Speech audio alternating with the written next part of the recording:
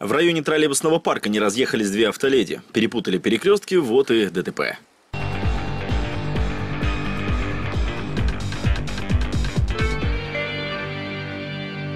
Хозяйка Toyota Land Cruiser едет по Гамарника, планирует повернуть на Иртышскую, а дальше выбираться на Постышево. Но все задуманное рушится в районе троллейбусного парка.